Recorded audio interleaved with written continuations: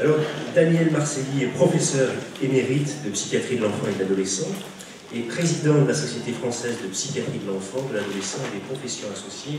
Je lui donne tout de suite la parole. Oui, Florian, écoute, effectivement, du coup, tu prends un risque. Alors, euh, Philippe euh, Pluton vient nous parler de la tentation d'Olivier. Il y a aussi la tentation de Gilles en arrière-plan. Il y a également la tentation du Christ. Et il y a la tentation suicidaire, qui est le titre de ce colloque. La tentation. Au fond, et dans la figure du suicide, il y a un mot qui a été prononcé par Philippe, il y a toujours l'énigme. L'énigme qui est aussi une tentation. Une tentation qui nous, qui nous attire. Dans Le Monde, page 5, daté d'aujourd'hui, voici le rêve qu'a fait le terroriste qui s'est fait exploser le lendemain à Bruxelles. Je tiens à vous raconter mon rêve. J'étais sur un bateau avec Hamza et Suleiman. On avait chacun un otage. J'ai dit à Suleiman qui avait une ceinture Prends mon arme et donne-moi ta ceinture, je me sentirai plus à l'aise. Il me l'a donnée, puis à ce moment, je me suis précipité avec mon otage vers deux soldats. Puis j'ai actionné ma ceinture. Puis ma tête est arrivée dans une terre. Le cheikh Adamni et Abou Ahmed ont pris ma tête et puis on dit Il sourit ou pas? À ce moment-là, j'ai vu l'âme des trois personnes que j'avais tuées devant moi. Elle disait Quel jour heureux Là, j'ai commencé à avoir peur, pensant que j'étais dans le faux je disais, alors, on était dans le faux? Puis d'un coup, les âmes de ceux que j'avais tués ont brûlé, puis disparu d'une façon très rapide. Puis l'étendard de l'islam est sorti de la terre et s'est élancé vers le ciel. Ça veut dire un peu en hauteur. Puis j'ai vu une lumière au ciel dans mon rêve. C'était Allah, qu'il soit exalté et glorifié. Mon âme est devenue une boule de lumière. il m'a dit, mon serviteur, aujourd'hui, ta délivrance. La bonne crainte a envahi mon cœur. Puis à ce moment-là, je me suis réveillé en battant fort du cœur la tentation. La tentation. Il y a 4 millions d'années, il y avait sur Terre des petites boules avec quatre pattes, un petit trou devant, une petite queue derrière. Quand ils jouaient dans les champs, ils gambadaient vachement heureux. Et les dieux, voyant cette ignominie, les êtres humains plus heureux qu'eux, d'un coup de serpe, ont tranché ces boules avec les uns deux pattes, un petit trou, les autres deux pattes, une petite queue, et désormais ils passeraient leur temps à se courir les uns après les autres dans la dérédiction fort triste de la vie. Pour tenter de retrouver cette tentation de l'unité solipsiste dans un excès absolu. Voilà. C'est ce qu'a raconté Philippe. C'est ce qu'a raconté Philippe d'une certaine manière.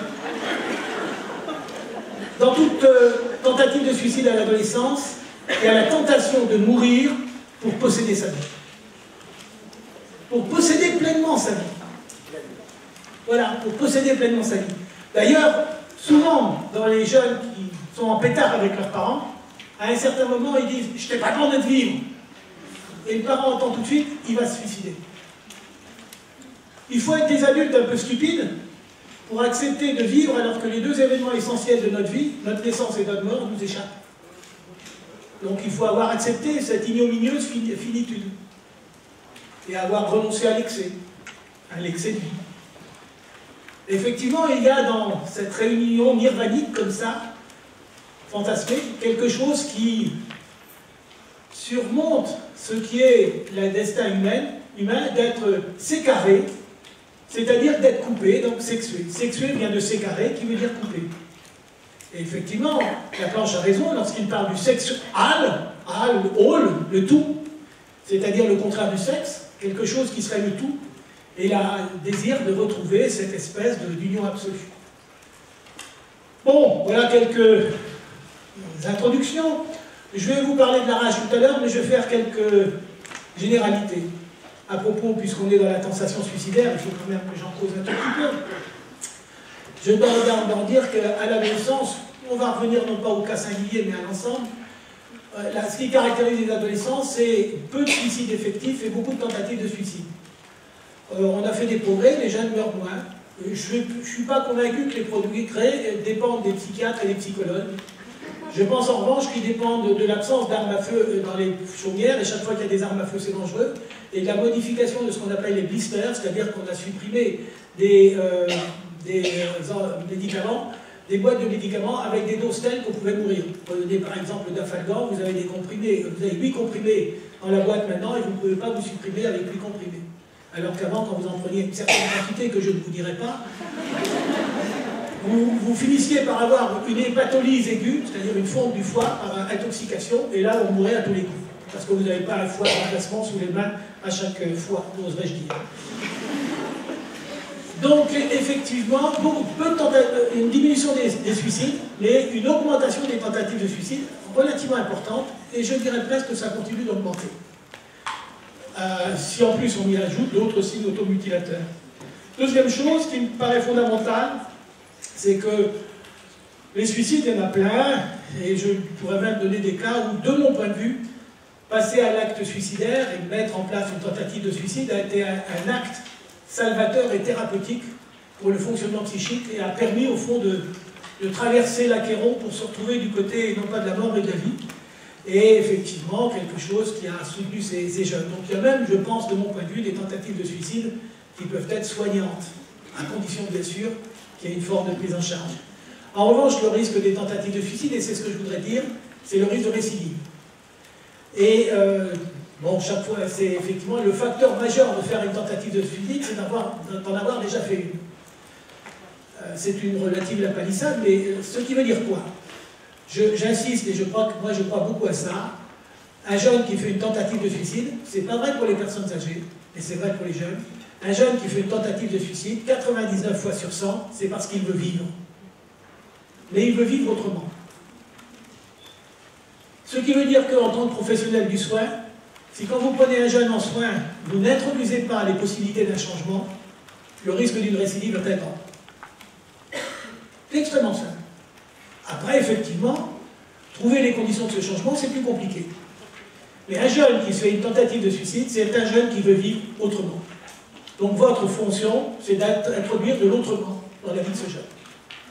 De l'autrement matériel, ce n'est pas possible, de l'autrement psychique, de l'autrement interactif familial, c'est à vous de choisir le bouton sur lequel vous devez appuyer qui sera le plus facile à mettre en place pour introduire cet autrement. Mais s'il n'y a pas d'autrement, et si on le remet dans les conditions antérieures, dans les 3 à 6 mois, il risque de faire une récidive, dont la probabilité est qu'elle soit plus grave que la précédente s'il a un fonctionnement psychopathologique assez, assez saillant. S'il a un fonctionnement névrotico-normal, la tentative de suicide, c'est à peu près identique. Mais il va apprendre quelque chose qui est terrible, c'est en manipulant la menace de suicide que je obtiens barre sur les autres. C'est-à-dire que la tentative de suicide est devenue un langage, un langage social. Et les jeunes savent très bien aujourd'hui que, en menaçant de se suicider, ils obtiennent ce qu'on leur refusait avant la menace. Donc effectivement, il faut effectivement à la fois être attentif et en même temps connaître ce langage. Ça ne veut pas dire parce que, je, dénie toute valeur à la tentative de suicide. Je veux dire que c'est devenu dans notre société un langage social. Probablement plus un langage social que du temps où Gilles écrivait ce roman euh, sur les faux monnayeurs et ensuite sur la porte étroite. C'est après qu'il est parti en Tunisie, quand il a rompu avec euh, Marc et qu'il est parti en Tunisie, écrire la porte étroite. Je crois qu'il a écrit les faux. Oui, mais euh, il avait vécu de la Méditerranée entre lui et, entre lui et, Marc, il me semble, non? C'est dans mes lectures d'adolescent où j'étais très ému par les écrits de Gilles, que j'ai quelques souvenirs. Je ne l'ai pas relu depuis. Donc voilà, c'est des éléments essentiels à, avoir en tête, le langage social. Et, dernier point, qui me paraît fondamental, il y a un philosophe qui s'appelle Sioran. Sioran, c'était le philosophe de la dérision et de la mort, et qui, je pense, n'a pas passé une journée sans penser qu'il pourrait se suicider. Vous rencontrerez, j'espère, je pense, des adolescents qui ont de la vie euh, une pensée de dérision. Qu'est-ce que c'est que cette pitrerie qu'on vit tous les jours? Et au fond, l'idée de pouvoir se suicider, c'est l'idée de pouvoir sortir dignement de cette pitrerie. Vouloir supprimer cette idée à ces adolescents, ça peut les conduire à passer à l'acte. Discuter de semaine en semaine, deux fois par semaine, de ce que ça représente, cette pitrerie, qu'effectivement ils gardent cette, possibilité de se, de se, suicider, et que c'est ça la condition de leur liberté, ça les maintient en vie. Mais ça veut dire aussi qu'en tant que thérapeute, on doit supporter l'angoisse projetée de cet adolescent. Donc c'est ça, ça sera ça votre boulot et le paradoxe absolu. Paradoxe absolu qui effectivement fait que vous allez être amené à supporter cela. Suran est mort à 84 ans dans son lit. Mais probablement en ayant chaque jour l'idée d'en finir avec cette vie. Ce sont des choses qu'on ne peut pas dire à la radio, devant des journalistes, c'est trop complexe, mais qu'on peut peut-être un peu dire devant un enfant. Et je souhaite pour vous que vous ayez de temps en temps des jeunes comme ça, qui effectivement vous amènent à être dans ce contact humain avec eux, et petit à petit après, éventuellement à faire de la psychopathologie. Mais je crois d'abord et avant tout qu'un jeune suicidaire, ce qu'il a besoin, c'est de rencontrer une personne humaine. Une personne humaine qui discute avec lui de tout cela, et qui puisse effectivement... Euh, avec lequel il engage comme ça une, une forme de plaisir de parler qui le soutiendra euh, durablement. J'ai eu la chance pendant 45 ans de psychiatrie d'adolescents. Catherine Mata qui est là pour en témoigner, je me suis occupé de l'unité d'adolescents, etc. Je n'ai jamais, eu, y compris dans les adolescents que je suivais, je n'ai jamais eu d'adolescents qui se sont suicidés, soit pendant qu'ils étaient en charge à l'hôpital, soit pendant qu'ils étaient en thérapie avec moi. Peut-être que je me suis arrangé pour jamais ça, c'est possible. Mais bon, euh, en tout cas en institution, j'avais une position fondamentale en institution, c'est que plus un adolescent avait tort, plus, moins il faut euh, insister pour lui montrer qu'il a tort. Plus un adolescent a tort, plus il, faut faire comme s'il avait raison. Il ne s'agit pas de lui dire tu as raison de dire ça. Il s'agit de lui dire tu dis ça, bon, c'est moi je ne crois pas nécessairement ça, mais je ne cherche pas à te convaincre. Parce que quand vous voulez convaincre un adolescent qui est installé dans des processus psychopathologiques, vous pouvez tout seul. Donc il faut faire très attention à ça. Et très ménager ce qu'on pourrait appeler le narcissisme d'un adolescent. Bon. Alors, vous voulez qu'on parle un peu de la rage? Parce qu'effectivement, aujourd'hui, dans, la, sémiologie, la, difficulté de la sémiologie, parce qu'il faut quand même parler un peu de sémiologie aussi, la difficulté de la sémiologie de la tentative de suicide, c'est qu'elle intrigue deux dimensions extrêmement liées, mais qui sont en même temps un peu opposées. La dimension dépressive et la dimension impulsive. Quand dans un temps jeune, vous avez, avant de, le prendre en charge, faut bien évaluer, on a parlé tout à l'heure d'évaluation, et dans l'évaluation, y compris psychodynamique, il faut évaluer la dimension dépressive et la dimension impulsive. Parce qu'effectivement, ça ne va pas donner les mêmes tableaux, et surtout, ça risque dans le parcours de la prise en charge de ne pas poser les mêmes problèmes. Quand la dimension impulsive prédomine, très nettement, il faut faire relativement attention. Et euh, quand la dimension dépressive prédomine, c'est moins, le, risque de récidive est paradoxalement moins grand. Et il n'y a aucun rapport entre la profondeur de l'une ou l'autre de ces dimensions et la gravité du suicide. Vous pouvez avoir des, dimensions impulsives extrêmement fortes, des suicides pas trop graves, mais vous pouvez avoir des dimensions impulsives pas, très fortes et un suicide, une tentative qui peut aboutir à la mort. Donc il faut toujours faire attention à cela. Dans la dimension impulsive, évidemment, c'est la dimension un peu de la, rage qui peut l'emporter. Et il me semble aujourd'hui que c'est devenu une, une idée de plus en plus importante. Donc j'ai écrit ce livre, Avoir la rage, et je l'ai sous-titré du besoin de créer du besoin de créer à l'envie de détruire. Et les mots besoin, envie, créer et détruire sont très importants. Donc euh, je crois aujourd'hui qu'il y a de plus en plus d'adolescents qui disent j'ai la rage. Hein, j'ai la rage. Bon, c'est à peu près la même chose que j'ai la haine. Et d'ailleurs, dans les banlieues, il y en a même qui disent maintenant j'ai le seum. Hein, vous avez entendu, hein J'ai le seum. Est-ce que quelqu'un sait ce que ça veut dire le seum? Ah Alors, eh ben, s'il y en a qui ne savent pas ce que ça veut dire j'ai le seum, vous devriez aller chercher dans les dictionnaires l'arabe. J'ai le seum, ça veut dire j'ai le venin, j'ai le poisson. J'ai le venin, j'ai le poisson. Vous êtes d'accord avec moi? Hein, Voilà. Donc sachez au moins que quand il dit j'ai le seum et qu'il vous regarde, ça veut dire j'ai en moi le venin qui peut te contaminer. C'est pas facile de tendre la main à quelqu'un qui a le venin, qui a la rage, il peut vous faire mort et vous faire contaminer. Et en même temps, c'est un défi. Acceptes-tu de tendre la main à quelqu'un qui pourrait être contaminé C'est-à-dire, c'est le potentiel de dangerosité d'un jeune. Alors cette rage, effectivement, aujourd'hui, les jeunes la revendiquent. Et c'est une posture très différente, c'est nouveau. Il y a 40-50 ans, quand euh, on voyait les jeunes qui faisaient les imbéciles, on disait « Ah, ceux qui cassaient les choses », on disait « Ah, c'est des enragés ». Vous voyez, quand on dit que c'est des enragés, c'est depuis la position haute et on regarde en bas ces enragés, ces petits merdeux d'enragés en bas. Tandis que quand le jeune dit j'ai la rage, vous voyez bien qu'il y a quelque chose de la revendication. On va même dire la revendication narcissique. Je ne sais pas si j'aurai le temps d'en parler, mais aujourd'hui, il y a une quasi-équivalence. J'avais l'intention d'écrire ce livre, et j'en parle à, un ami qui est ici, qui s'appelle François Marty, et il me dit Bon, qu'est-ce que tu veux écrire sur la rage? Bon, c'est la rage narcissique, mais quoi d'autre encore? Tu te rappelles de m'avoir dit ça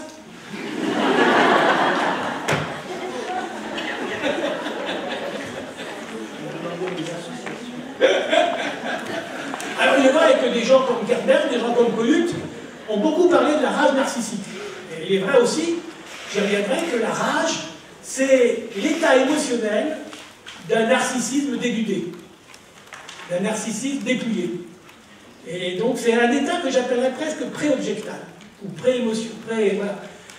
Et donc aujourd'hui, les jeunes disent j'ai la rage, avec une, une importance euh, faut, sur laquelle il faut se pencher. Et c'est parfois quand ils ont la rage qu'ils passent à l'acte dans des actes hétéro ou auto-agressifs de manière un peu indifférenciée. Et comme euh, je l'ai dit tout à l'heure, pendant qu'on était en train de manger ensemble, à un moment où j'ai un peu fait le pitre, euh, les, les, les, gens, quand on parle de la rage, il y a deux expressions qui sont intéressantes. Quand vous avez des problèmes, vous êtes engueulé avec vos amis, que, avec vos parents, avec vos enfants, avec vos collègues, puis vous n'en pouvez plus, alors des fois vous vous dites j'ai pété les plombs, j'ai cassé, je suis passé à la bon là vous êtes psychologue ou si vous avez un cortex assez développé, donc en général c'est plutôt vous avez pété intérieurement les plombs, ça s'est allumé dans votre tête et ça a chauffé fort et vous avez vraiment eu envie, envie d'exploser. Vous avez tête de quelques heures ont quand même pété les plombs. Et puis de temps en temps, un certain nombre d'entre vous, quand vous avez réussi après des périodes comme ça, comme on dit maintenant dans la, la psychiatrie, des périodes adverses, vous avez été rencontré l'adversité d'une manière un peu importante, vous avez réussi à vous ressourcer, vous dites j'ai rebondi. J'ai rebondi. Ah, qu'est-ce que vous voulez dire quand vous dites j'ai rebondi hein? Cette espèce de tension interne qui est faite comme un ballon intérieur, à l'intérieur que le ballon, eh bien, ce qui soit vous fait péter les plombs, soit vous fait rebondir. Et en, fonction de la manière dont l'objet en face de vous aura réagi, soit vous mettez les plombs, soit vous rebondissez. C'est la ligne de crête d'un narcissisme dénudé, ou qui se sent très vulnérable, et qui dépend de la réaction d'objet.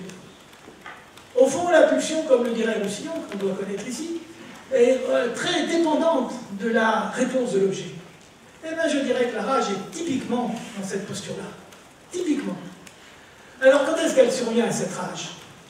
Première chose, on va la définir très brièvement, on la distinguera de la colère. La colère, elle a son objet, elle est dirigée contre l'objet. La rage, elle n'a pas nécessairement un objet. D'ailleurs, une colère rentrée, ça peut devenir de la rage. De même qu'une rage qui trouve un objet de complaisance, ça peut se transformer en colère. D'ailleurs, quand vous regardez les index, les citations de livres comme ceux de Kernberg ou de Cohut, il mélange, euh, il mélange dans l'indication, vous avez rage, allez voir colère, ou colère, allez voir rage. Donc, la limite entre les deux n'est pas complètement bien distinguée. C'est-à-dire que la rage est une colère violente, avec cette dimension d'explosivité, d'explosivité ou de menace d'explosivité. Quand est-ce que ça survient? Je crois dans deux circonstances essentielles. Ça survient quand, le, quand la personne est confrontée à la solitude ou confrontée à l'impuissance. C'est-à-dire deux situations qui mettent le narcissisme à but. La solitude, pas seulement la solitude matérielle, mais plus encore la solitude psychique, c'est-à-dire que quand on a le sentiment que l'autre qui est en face de nous ne fait aucun effort pour chercher à nous comprendre.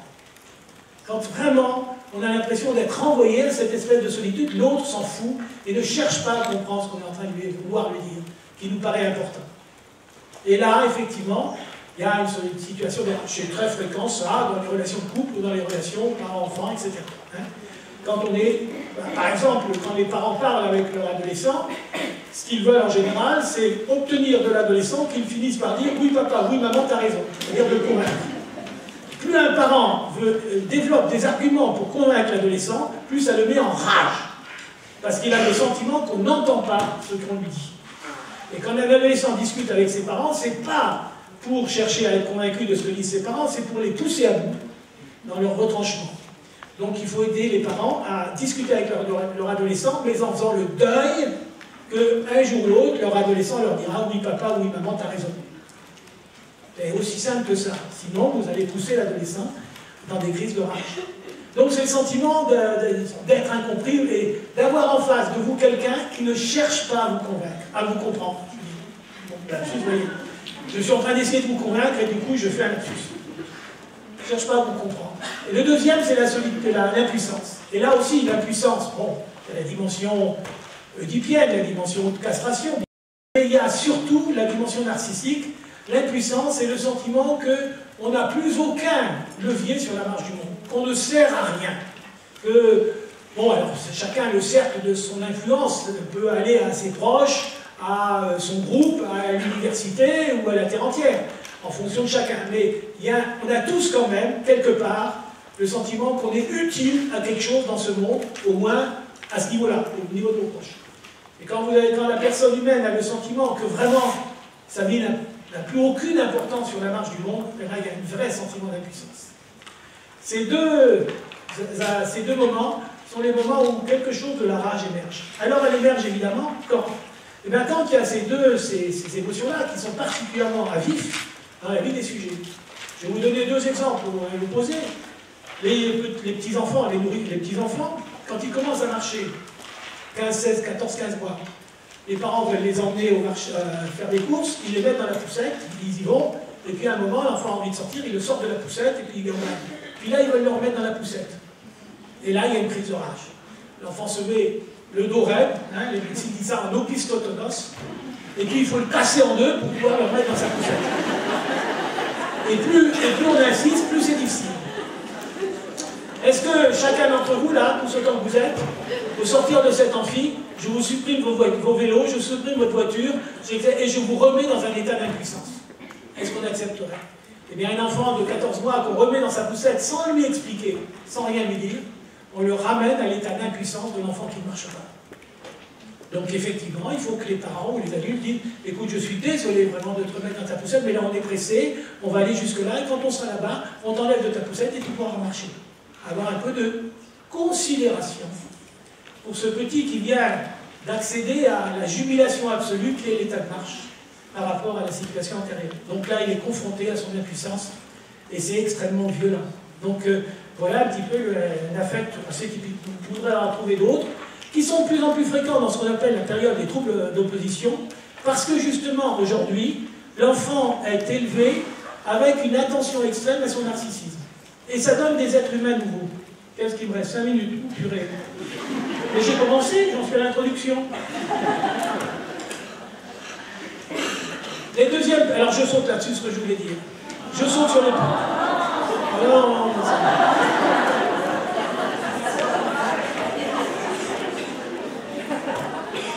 non, je, les personnes âgées. Les personnes âgées aussi, ils ont des crises de rage. Les crises de rage, ah bon, je vais pas au rage, au désespoir, au vieillesse ennemie, à mon bras, etc. Quand mon bras n'est plus capable de tenir mon épée, il faut que ce soit le jeune comte qui le tienne à ma place possible et que je dois dépendre de lui. Dépendre de lui. La dépendance. La dépendance. Hein. et à l'adolescence. Et à l'adolescence, évidemment, c'est l'âge de la vulnérabilité narcissique.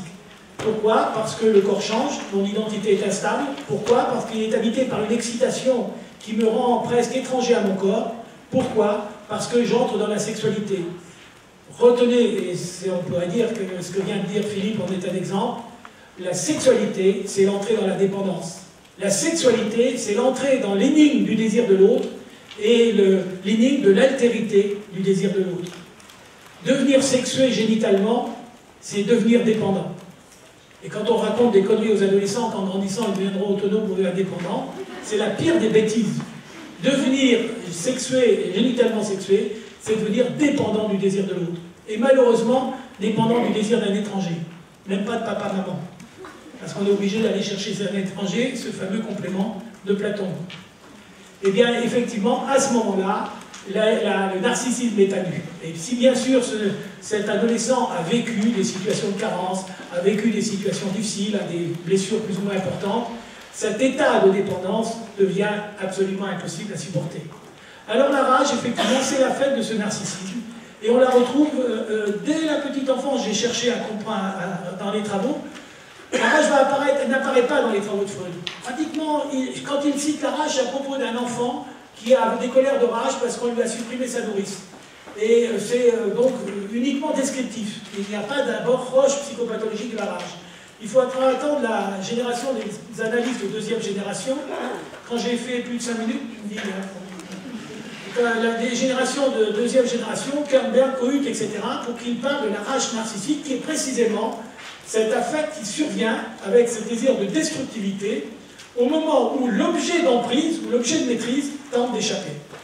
Et l'objet d'emprise, de maîtrise en particulier dans les thérapies psychanalytiques, c'est lorsque thérapeute est, inclus dans ce soin grandiose, ou dans cette relation narcissique avec le patient, et quand dans un coup, par des attitudes ou des interprétations, il montre un espace de différenciation qui peut entraîner des crises de rage chez le patient, parce qu'effectivement, ce patient à ce moment-là touche du doigt le fait que son emprise lui échappe. Et donc c'est assez typique de ces états. On le retrouve également un peu chez Winnicott, mais il ne m'a pas utilisé le mot rage. Il y a un, truc, un article qui est très intéressant chez Winnicott, qui, qui s'appelle l'utilisation d'objets, et qui montre bien qu'entre la relation d'objet, la relation d'objet qui s'inscrit dans une relation d'amour ou de haine, comme euh, bon, euh, classique, avant la relation d'objet, il y a l'utilisation d'objet. Et l'utilisation de l'objet, c'est la possibilité pour le petit, le bébé, de détruire l'objet sans que ça n'ait de conséquences pour lui. sans que ça n'ait de conséquences pour lui. Je peux utiliser et détruire l'objet comme mon bon plaisir le veut, sans que j'ai de rétorsion à craindre. Et c'est quand j'ai l'assurance que je peux utiliser l'objet selon mon bon plaisir qu'après je peux rentrer dans des relations d'objet, d'amour, de haine, etc., etc. Eh bien, je dirais que cette utilisation d'objet, c'est cette dimension de rage narcissique fondamentale qui fait que tout à chacun, on a envie que le monde soit à notre, euh, euh, désir seul. Alors effectivement, comme j'étais en train de le dire avant que ce méchant Florian me coupe la parole avec son foutu papier, euh, et les enfants aujourd'hui, précisément les petits, sont élevés avec cette espèce d'attention au narcissisme du petit, d'attention à la satisfaction de ses besoins, et je dirais même d'attention à la stimulation de ses compétences, puisqu'on sait qu'aujourd'hui qu'un bébé c'est compétent.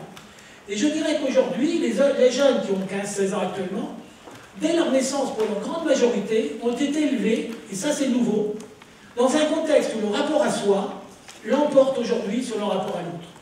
Dans l'éducation des enfants, le rapport à l'autre a toujours précédé le rapport à soi. On se tait, on baisse les yeux, etc. Aujourd'hui, jusqu'à 3-4 ans, on élève les enfants avec l'illusion que le rapport à soi l'emporte sur le rapport à l'autre. C'est ça. Alors ça leur donne une sorte de sécurité narcissique, mais d'une sécurité narcissique cristalline. Parce qu'à un certain moment, et à l'adolescence, à ce moment-là, eh bien effectivement, la vie euh, est telle que l'adolescent n'est pas au centre du monde. Et la sexualité, elle ne peut exister que dans un rapport à l'autre.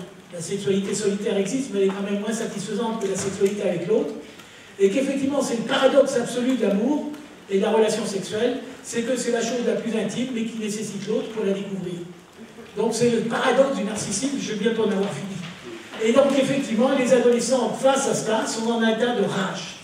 Quand ils n'ont pas eu trop de blessures, quand ils n'ont pas de vulnérabilité personnelle, familiale et sociale, et quand ils ont un petit nom quelque part, cette rage, elle épouse à ce que euh, Philippe Buton a beaucoup écrit, c'est-à-dire qu'elle est le support de la créativité, du génie adolescent dont il aime bien parler.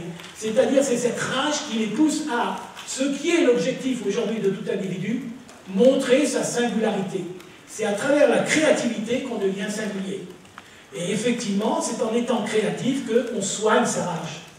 Malheureusement pour certains, soit ils n'ont pas la persévérance nécessaire, soit ils n'ont pas le don suffisant, et ils n'ont pas cette, euh, cette possibilité. Et comme le dit Philippe Jamais, le génie de la pauvreté, ça peut être la destruction. Car on peut toujours être génial dans la destruction et se montrer singulier. Et le risque, effectivement, c'est que cette rage bascule de la créativité à la destructivité. Et pour l'adolescent, l'objet qui est sous sa main, c'est son corps. Et c'est en cela qu'il peut exercer sa rage contre lui-même. Je vous remercie.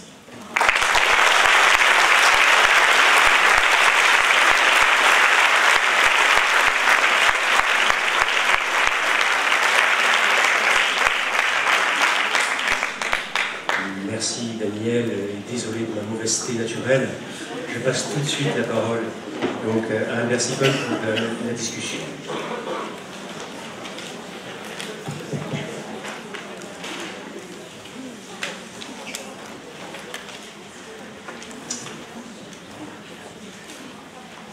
Je ne suis pas sûr de remercier Brigitte pour m'avoir mis à cette place-là.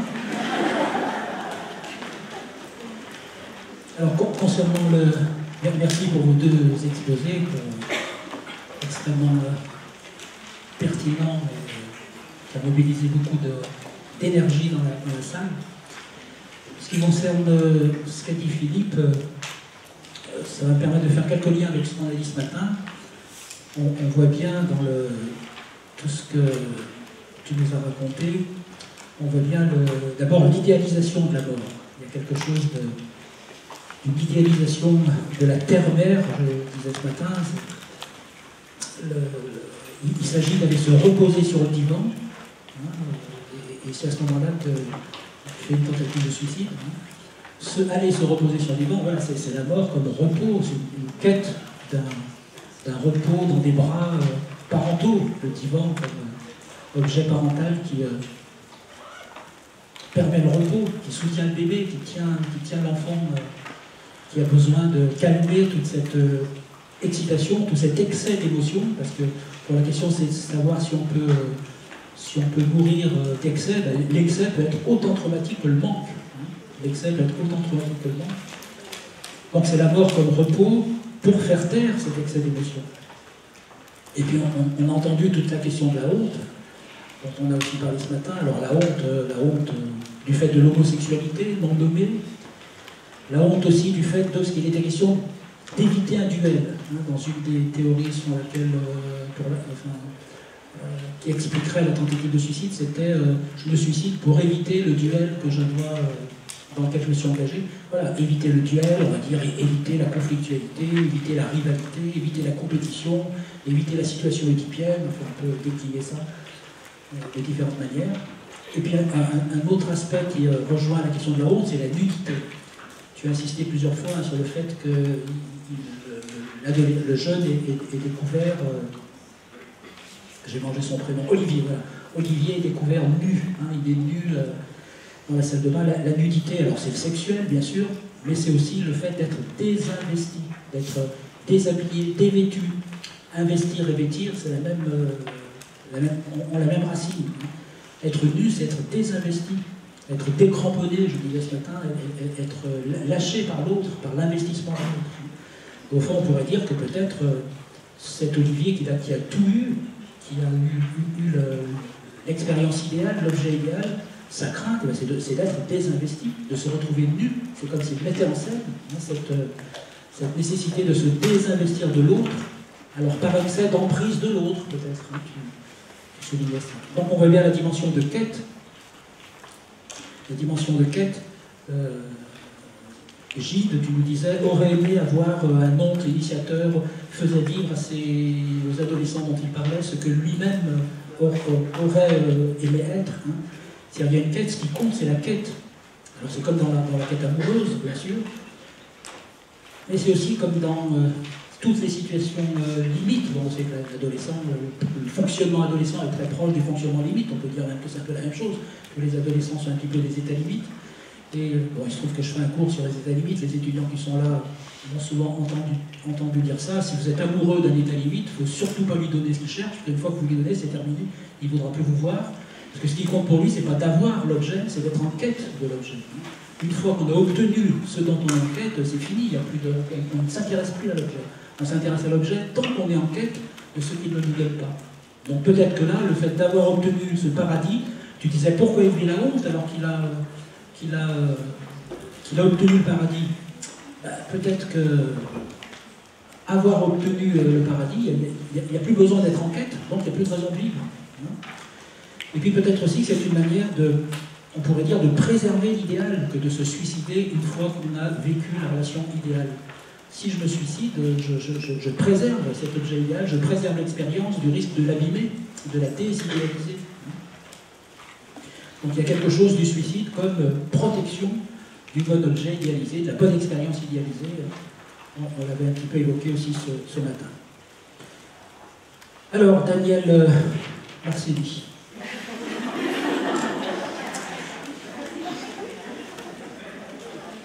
C'est un plaisir pour moi d'être à côté de lui, on s'est croisé plusieurs fois, c'est un plaisir de. Les gens qui me connaissent savent que je suis très très intéressé par les traces de l'infantile, par la manière dont l'infantile persiste, vit dans l'adulte. C'est un, exemple, un cas clinique extrêmement intéressant On voit l'enfant toujours vivant, toujours créatif. J'aime beaucoup euh, un psychanalyste que vous connaissez sans doute, Salomon Resnick, qui, disait toujours, il disait, parce qu'il est malheureusement décédé il n'y a pas longtemps, il disait toujours ne jamais perdre le contact avec son moi ludique. Si on veut être soignant, psychanalyste ou autre, il faut toujours, toujours, toujours rester en contact avec son moi ludique. Daniel est tout le temps en contact avec son moi ludique. Et on peut tout à fait observer cet enfant-là, la manière dont il tape sur la table. J'ai pu, euh, comme ça, faire une observation très précise. Alors c'est très très intéressant. Oui. Mes, étudiants me demandaient parfois qu'est-ce qu'il fallait pour être euh, pédopsychiatre, euh, s'occuper d'enfants. Je leur disais, est-ce que vous aimez jouer? On est bien d'accord. Alors, ce que tu as dit est évidemment extrêmement important, à mourir pour posséder sa vie, c'est-à-dire, euh, on, l'a un petit peu dit aussi ce matin, c'est comme s'il fallait aller jusqu'à la mort ou jusqu'à risquer la mort pour se sentir exister, pour se sentir vivant, pour se sentir maître de soi-même, sujet de soi-même, sinon on n'est jamais sûr. Tant qu'on n'a pas, vu, qu'on n'a pas mis sa vie en jeu, on n'est jamais sûr que sa vie nous appartient, qu'elle n'est pas celle d'un autre. Pour être sûr, convaincu d'être sujet de soi-même, il faut avoir pris le risque, d'une certaine manière, de perdre sa propre vie pour s'en sentir euh, le, sujet. La, tentative de suicide comme désir de vie, évidemment, avec ce côté paradoxal, la tentative de suicide comme langage social, ça aussi c'est très important. C'est effectivement un langage social, et même, on peut aller plus loin, on apprend même tout à l'heure, euh, ce matin, Delphine euh, parlait de la manière dont le, suicide est, genré d'une certaine manière. On ne se suicide pas de la même manière sur les garçons ou filles. Euh, peut-être qu'on apprend aussi, de la même manière qu'on apprend à être garçon dans sa famille, ensuite à l'école et dans le social, on apprend à être fille dans la famille, à l'école sociale, on apprend aussi à se suicider comme un garçon, on apprend à se suicider comme une fille. Il y a quelque chose du genre qui est aussi dans ce langage social. Le suicide aussi, comme garantie, je, le disais un petit peu ce matin, je parle de la pitrerie. Hein. C'est ce que j'appelle l'idéalisation du, suicide comme solution ultime. Tant que je suis convaincu que je peux me suicider pour mettre fin à cette pitrerie, hein, je peux supporter la pitrerie. Tant que je garde cette, cette idée que de toute façon je pourrais mettre fin à cela en me suicidant, je peux supporter la douleur. La douleur devient supportable si on peut idéaliser la mort comme solution ultime. Et puis bien sûr, il faut rencontrer quelqu'un d'humain. C'est toute la question de, la manière dont on doit euh, ménager le narcissisme. Alors des adolescents, mais c'est tout le temps vrai, pour tout parent, avec tout enfant. L'éducation d'un enfant, ça consiste bien sûr à lui apprendre la réalité, l'altérité, tout en ménageant son narcissisme. Et c'est ça qui est bien sûr compliqué dans le travail de parents, c'est de ménager le narcissisme de l'enfant tout en ouvrant à l'altérité. Alors la rage, la haine, on a bien vu à quel point il s'agit d'expériences infantiles. Tu as donné plein d'exemples d'enfants, de bébés.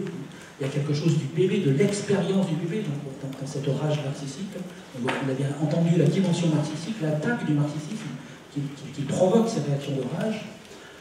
Tu as parlé de la revendication, du narcissisme dénudé, dépouillé. Encore une fois, on voit être dénudé, désinvesti, décramponné.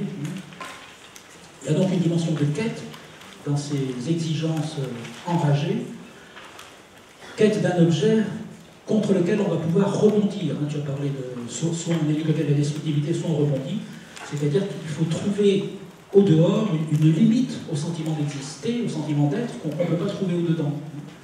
Il faut pouvoir trouver un investissement pour sortir, pour ne plus être déludé, sortir de la solitude, sortir de l'abandon, sortir de l'impuissance, et aussi pour être contenu dans cette euh, explosion enragée. Je donne souvent l'exemple de cet adolescent hein, qui euh, prenait comme ça des crises de rage complètement destructrices, euh, excessivement destructrices, et d'une manière comme ça qui inattendue pour, les, pour, les, soignants, qui, ne voyaient pas, qui ne sentaient pas venir la crise, mais lui il sentait venir la crise. Il savait qu'il allait péter les plombs, qu'il allait exploser. Et quand il sentait venir la crise, il disait euh, Tiens-moi, il disait à son infirmier Tiens-moi, et surtout si je te dis de me lâcher, tu ne me lâches pas. Évidemment, pendant la crise, il hurlait, il insultait, il frappait, il mordait, il crachait. Mais avant la crise, il savait que ce dont il avait besoin, c'était d'une limite, d'une tenue, hein, pour, contenir cette explosion euh, rageuse, enragée. Il disait aussi euh, Mets-toi loin parce que j'ai peur de te taper. Ou alors Laisse-moi te taper une fois, comme ça après je pourrais rester sans te taper. L'infirmier lui répondait Non, ça c'est pas possible. Par contre, tu peux taper sur ma main et ce serait comme un contrat pour pas se taper. Belle transformation. Hein. la rage destructrice qui attaque le bien, ça devient un contrat. Ça devient un contrat social. Les règles du match de boxe. Alors, si on ne trouve pas, si on trouve pas cet objet qui nous, contienne, qui nous contient et, contre lequel on va pouvoir, grâce auquel on va pouvoir rebondir, eh bien, on va pousser à bout. On va pousser à bout. Tu as employé l'expression, hein, ça, j'avais appris cette expression en parlant des enfants qui poussent à bout. Je reprenais le, terme qu'emploient toujours les parents. Ils me poussent à bout, faites quelque chose, docteur, j'en peux plus, il me pousse à bout. Pourquoi l'enfant pousse à bout? Pourquoi l'adolescent pousse à bout? Parce qu'il n'est pas sûr de ce qu'il y a au bout. Il pousse au bout, il pousse à bout pour voir, chercher si au bout du compte, il va trouver un adulte qui l'aime vraiment, qui l'investit vraiment, qui ne doit pas le laisser dénuder. Alors, il y a peut-être d'autres enjeux encore dans ces explosions enragées. Il y a bien sûr cette quête, ce, besoin de contenance, ce besoin de trouver une limite, mais il y a aussi la question du. Ça permet aussi à l'adolescent, à l'enfant, comment dire, de traiter la culpabilité, parce qu'il se retrouve quand même dans ces explosions, il se retrouve souvent puni, il se retrouve souvent euh, réprimandé, et c'est une manière d'apaiser la culpabilité, la culpabilité d'avoir produit la haine, le rejet. Si, je suis rejeté, j'ai fait quelque chose pour être rejeté, donc je vais me mettre en situation d'exprimer de, par, la rage cette quête et en même temps de me punir de cette, euh, du fait que je suis responsable, coupable de, de la, perte de l'objet. Et puis il y a une autre dimension, c'est la jouissance. Il y a quand même une jouissance à mettre l'autre en déroute. Il y a une jouissance à être enragé. À se lâcher à se lâcher, une jouissance anale hein, aussi, à se lâcher, à, être, euh, à, triompher de l'eau, à triompher de l'objet. Et puis enfin, bien sûr, la violence comme communication, la violence comme issue, euh, j'y reviens pas. Et pour terminer, alors tu as dit que grandir, développer sa sexualité, c'est devenir dépendant. Hein, il ne faut pas raconter des histoires et faire croire que plus on va devenir adulte, plus on sera indépendant. Mais oui, c'est toute la différence entre l'autonomie et l'indépendance. L'autonomie, ça n'est pas l'indépendance. L'indépendance est une illusion. L'autonomie, c'est la capacité à gérer ses dépendances. Ce n'est pas du tout la même chose. Voilà, c'était juste quelques réactions comme ça. Merci en tout cas à l'un et à l'autre pour vos exposés.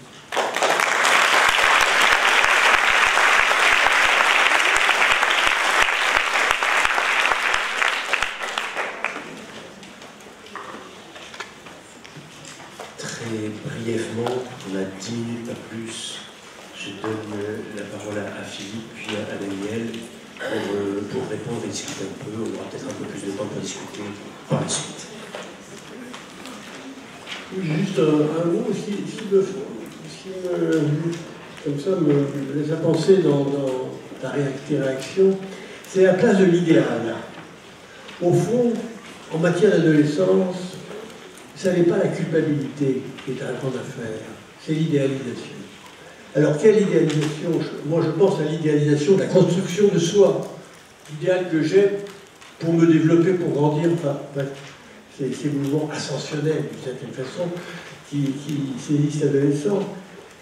Et cet idéal du jeu, du jeu au sens de l'idéal du, sujet, ce n'est pas l'idéal du moi, enfant, l'idéal du moi, toutes nos, interventions au niveau de l'idéal du moi ne sont pas véritablement intéressantes. Alors cette idée que l'idéal, c'est à la fois le mobile, l'idéal du jeu et le mobile de l'adolescence, est très intéressante dans les cures, à mon avis, car c'est ce travail par rapport à l'idéal avec un adolescent est quelque chose de relativement facile. c'est un abord, c'est un abord de dialogue euh, aisé culpabilité, c'est autrement, autrement difficile. Et ça a des racines infantiles très, très profondes et inattendues éventuellement. Par contre, travailler sur l'idéal de ce que tu deviens, de ce que tu es en train de devenir, là où tu es, eh bien c'est un, niveau où, euh, qui n'est pas assez élevé. Enfin, toutes ces idées-là que, que l'adolescent est en train de se faire, eh bien là, nous pouvons travailler avec lui, je pense, dans les, dans les cures de façon, de façon relativement intéressante et aller, et aller assez loin, y compris les renoncements à l'idéal, les positions anti-idéales, ce que Francis Pache appelait anti-narcissique. Bref, l'idéal a quelque chose à voir avec le, avec le narcissisme, bien entendu, tel que, Daniel a, développé. Donc, juste ce mot-là, pour vraiment mettre au, centre peut-être de la journée ce concept d'idéalisation du sujet. Merci donc à Alberto de ces remarques justes et toujours très, vivantes. Effectivement, il faut toujours garder l'enfant en soi, surtout si on est avec des enfants et des adolescents, et, euh, être dans cette dimension de vie. Euh, je ne peux pas, en rebondissant sur ce qu'a dit euh, Philippe, les difficultés et des enjeux du travail psychothérapeutique avec les adolescents, c'est d'être sur cette ligne de crête qu'a frôlé André Glucksmann, puisque j'ai parlé de la créativité. André Glucksmann a écrit un livre, Une rage d'enfant. Et il dit très bien dans ce livre qu'il a passé sa vie à tenter de transformer une rage d'enfant en, agressivité ou en colère, en colère de quelque chose. il dit qu'à l'adolescence, il avait des fantaisies comme ça grandioses, et qu'il a frôlé, il a frôlé le moment délicat où vouloir le rien plutôt que de ne rien vouloir. Vouloir le rien plutôt que de ne rien vouloir. Eh bien, avec les adolescents, vous serez souvent avec des adolescents qui ne veulent rien. Et effectivement, enfin, qui sont dans ce rien vouloir. Et la bascule destructive, c'est quand ils veulent le rien. Et là, effectivement, il s'agit de réveiller en eux des fragments épars d'idéal, quelque chose comme ça, qui généralement leur fait peur, parce que, euh, bon, leur peur de ne pas pouvoir y accéder, etc. Donc, pour moi, la destructivité de l'adolescence, c'est le risque quand vouloir le rien prend la place de ne rien vouloir. Et en tant que thérapeute, c'est sur cette ligne de crête que vous aurez acheminé. Yes.